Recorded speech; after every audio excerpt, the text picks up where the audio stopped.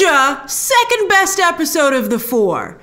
I'm I'm I'm tempted to even say maybe the best episode because I'm still on a high, having just rewatched it with all of you during the live watch along this morning. And oh boy, was that fun! Well, it was so fun to watch it with a group. But I still think it's the second best of the four. That first episode was pretty spectacular. But I'm curious, how would you rank the episodes so far? Uh, for me, it would be uh, one, four, two, and then three. But this one really shakes things up. And speaking of the number four, it has four very big twists. And maybe, just maybe, kind of, a very loose Kang connection. At the very least, it opens a door, uh, or points out a door, I think, to possible Moon Knight stories in the larger MCU context down the line, in addition to MCU horror, you know, a corner of the Marvel universe that they're also uh, building out. But there's some cool uh, ancient Egyptian stories that, I think this episode reminds you that they could tell as well. All right, so let's discuss. In I'm going to rank the uh, the big twists in order of OMGness. Now, obviously, the biggest twist of all is this reveal that he's in a mental institution. Or is he? Uh, it's straight out of the Jeff Lemire comics. Uh, some of you have read them. Some of you have been reluctant to read the comics because you know I have to. I have. I can understand where you're coming from. The Moon Knight comics, every writer has had a very different take on the character. Uh, I guess which is fitting for Moon Knight, considering Moon Knight's multiple personalities. But clearly, the Jeff Lemire run is extremely influential here. So, if you've read the Jeff Lemire run, when you saw this twist, I had read the comic before I saw the screener. So, when I saw the twist, it put a smile on my face. I was like, ah, they did it. They did it. But if you didn't read the comics, you probably were like, forget OMG, you were like, WTF. Uh, my my first reaction, in addition to the smile on my face, they did that twist from the comics was I was a little frustrated because I was like, how can you resolve a twist like this so late in the six episodes? I really feel that considering how weak episode three was, that they could have could have condensed the first three episodes into just two, and this really should have been episode three, with three more episodes to go to wrap this all up. Although, let's see, you know, prove me wrong. Marvel MCU and Moon Knight creative team. Let's see how the last two episodes go, uh, you know, how they turn out. And again, press has not seen the final two episodes, so we're all going to be surprised next week. Uh, I think that this was this was the shot in the arm that this show needed. I think that interest has waned a bit.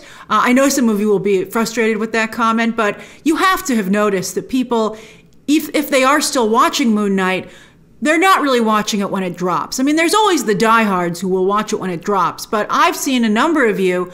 Uh, if you're still watching, you will not not only not watch it when it drops, but you sometimes don't watch it the day that it drops. And I know some of you are about an episode or two behind. So if you just caught up, welcome to the party. But this this is going to be a situation now where people do watch for the final two episodes when the show drops.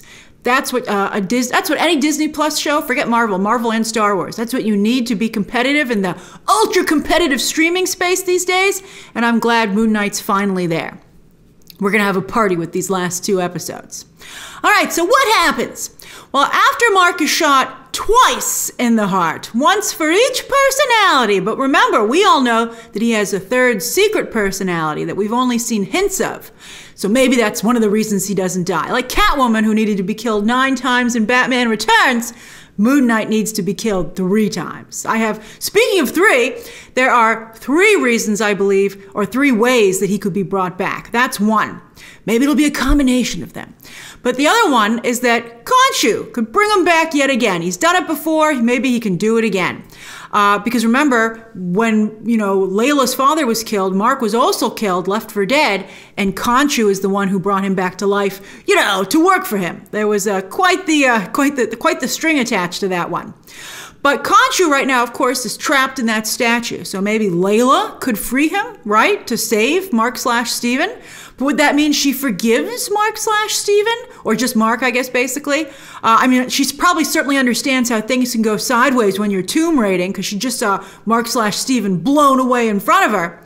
Uh, or maybe she has to make a deal with Khonshu. We all know that, you know, he wants her to be his avatar, but I think to have a female Moon Knight already, I don't know how that's going to go down with some fans because you already have a female Thor, you're going to have a female Black Panther.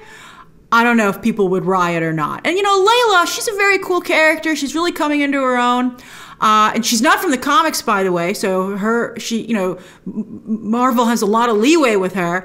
Um, maybe maybe Khonshu will give her like she could be like Moon Knight's side. I don't know. I don't think there are a lot of good ways that could go. But they've really they've made very big hints that Khonshu is interested in Layla as an avatar. So don't be surprised if they do something with that. All right, there's one other way that he could be brought back, and we'll talk about it when we get to it. I want it to dawn on you, uh, just like it did on me while I was doing this breakdown. All right, so I don't believe this mental institution is real, even though it's awfully convincing, and they go through great pains to very quickly make you feel like this is what's been going on all along.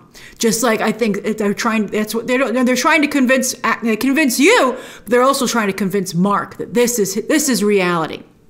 It's not real in the comics, the mental institution, which is one of the reasons I feel this isn't real. Uh, and also, I think the many zany reveals at the end of this very episode reveal that it's not real.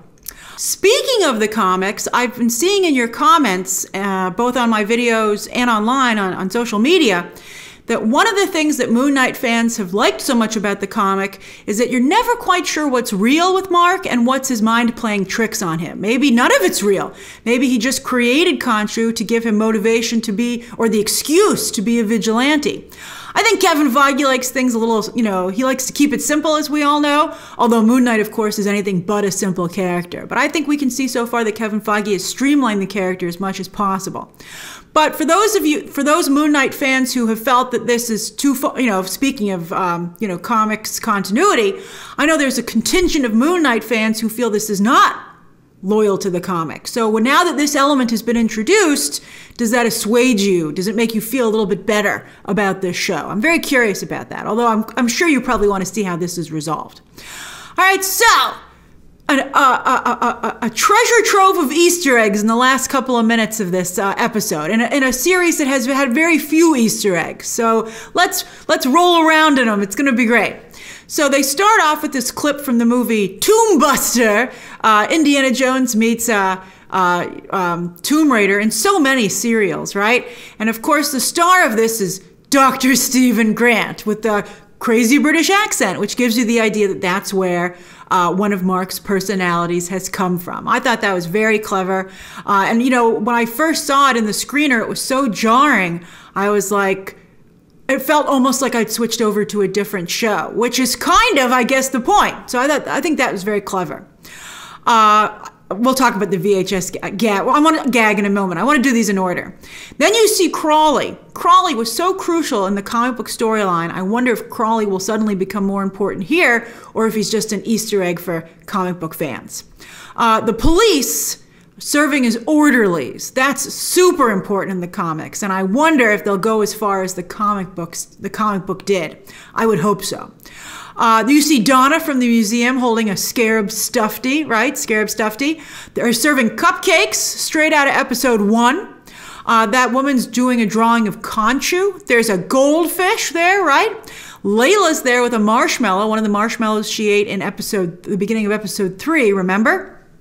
And then this is very important when she's put, pinning that picture to the board, it drops down. And it seems to be a picture of the very mental institution that they're in, one of the hallways. So I thought that that's, I think, I think that's probably very telling, right? Like they've, you know, and it turns upside down almost. And upside down, uh, you know, is a big theme in this show uh, visually. We've seen that shot looking at things so up, upside down so many times. Even the beginning of this episode featured uh, some, you know, upside down.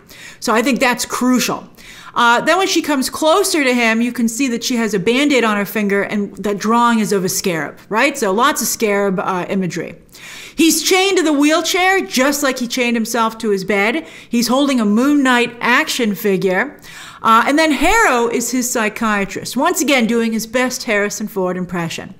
Uh, now in the comic, his psychiatrist was Ammit herself, or a, a, or you know an extension of Ammit.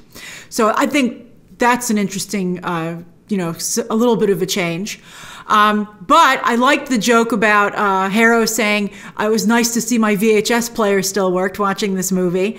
Uh, and he mentions that a lunar god is a big part of the Tomb Tombbuster storyline. And of course, Khonshu is the Egyptian lunar god. So I thought that was great. And so he's talking about this in terms of trying to help Mark with his mental health. But we see so many clues or Easter eggs in this room as well. The picture on the wall is the village from episode one. He has a cane here as well, and he's wearing the same sandals. Uh, there are Egyptian artifacts, faux or real, scattered across the room. And Harrow also says something very interesting about perspective and context and how they shape reality. Talking about a pen and how to a human, to Harrow, it's a writing tool, but to his dog, it's a chew toy, and both things are true. I thought that was very well written, and we'll see if that comes into play uh, with the rest of the episodes, or it's just an interesting commentary on, you know, psychi- psychiatry. But I thought it was a good line. Uh, then, but Mark's like, "You shot me," and he he stumbles out of the room, and Harrow's like, "Don't hurt him," to his orderlies. Uh, that was great. Ethan Hawke's doing a very good job here. I still think it should have been an Egyptian actor, but I can't deny that Hawke's fantastic. So in the hallway, things already start to unravel. The fixtures on the ceiling don't fit the rest of the decor, and they seem more like light fixtures in a tomb, right? So is he still in that tomb? I have a theory. All right. He finds Steven hidden in a sarcophagus, and I thought it was adorable when they hugged. They've been fighting this whole season, but now that the chips are down and Mark feels so alone, he's just so happy to see himself. And of course, you know, Steven confirming their last memory that Harrow shot them. Uh, so that was great. I mean, and by the way, this totally takes away from The Flash, which is also about mental illness and has multiple Ezra Millers working together. So that movie's just so delayed at this point, it's going to have nothing fresh left by the time it hits theaters.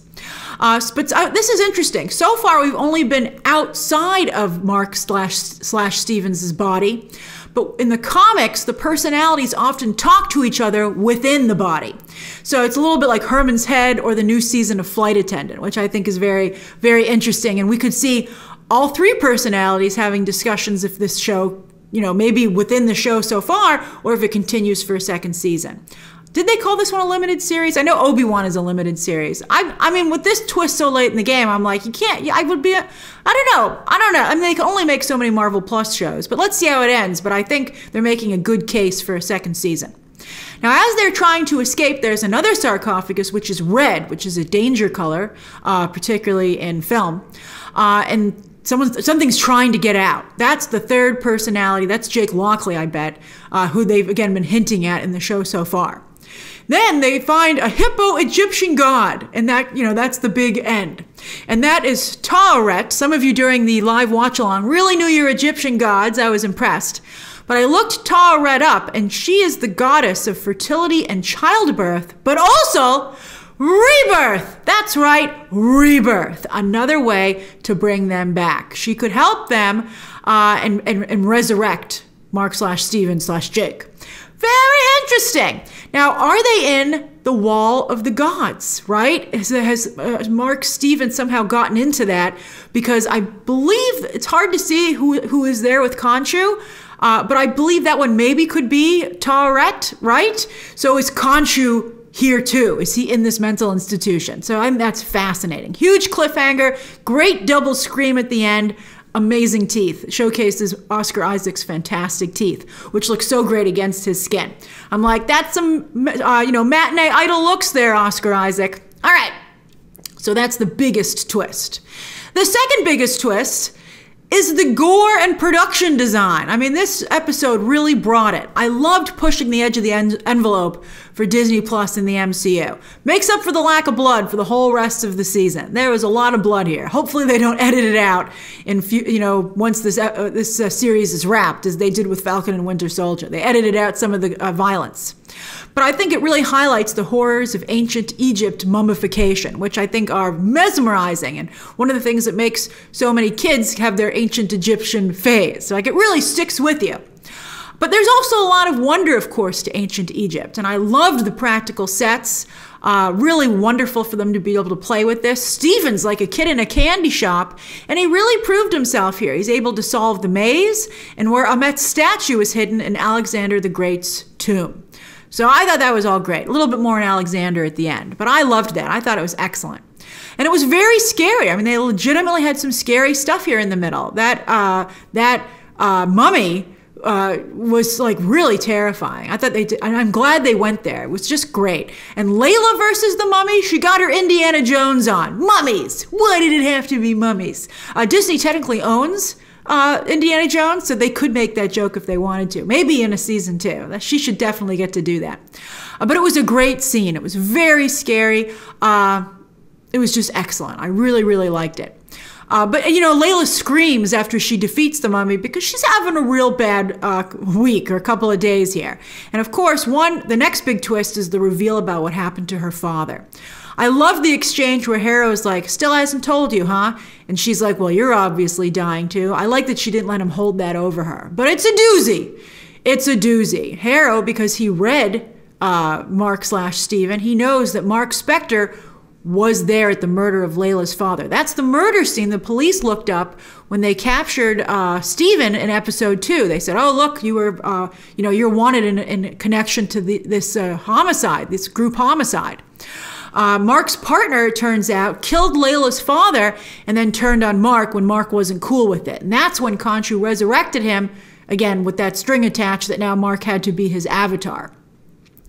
And then it's also further revealed that the only reason that Mark even went to meet Layla is because he felt guilty and their whole relationship is built on a lie.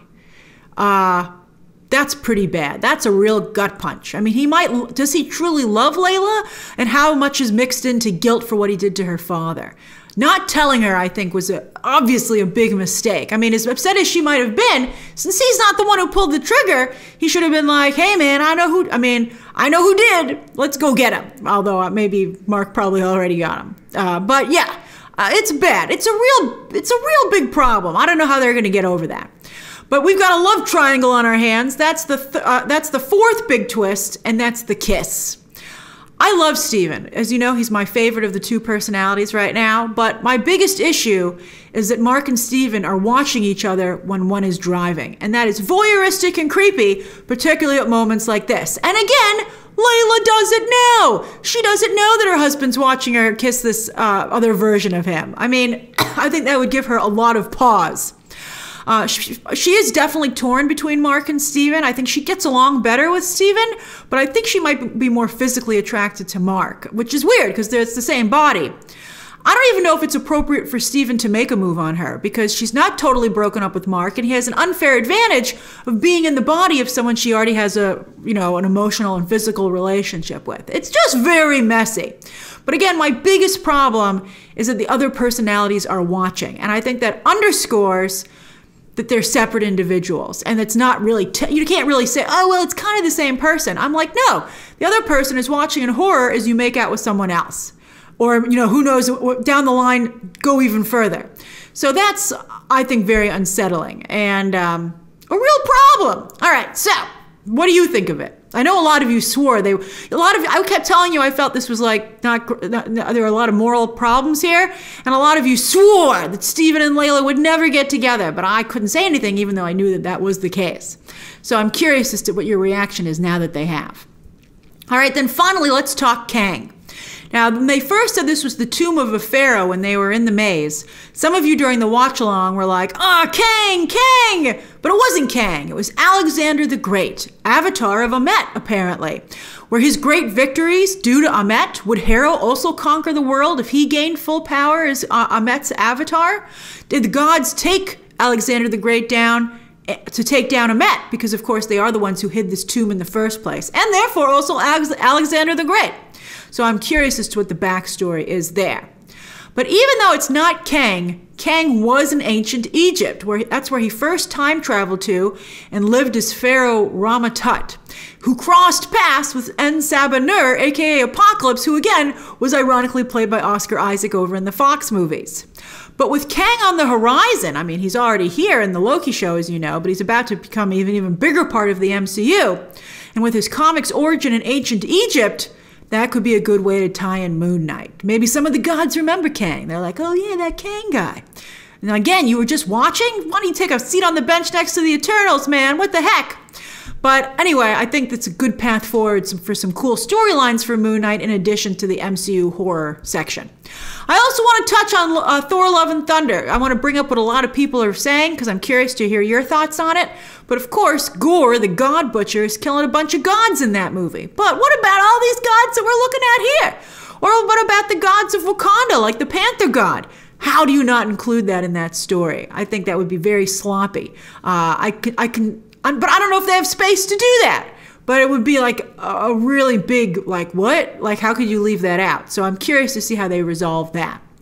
All right, so what did you think of Moon Knight episode four and all its twists? Uh, now are you going to go read that comic, right? If you haven't already, uh, I'll put a link down below to that graphic novel, which is available on uh, Comixology. Uh, and if you're a Comixology Unlimited member, I think it's probably still uh, included with your, your, your subscription. It was for me when I read it like a month or so ago, so I would imagine, considering the popularity of the, well, you know, hopefully the popularity of the show, it would still be a part of that giveaway. All right, see you all next week as we all discover for the first time what happens next. Share your thoughts down below, subscribe today, and of course, as always, you can check out some more videos right now.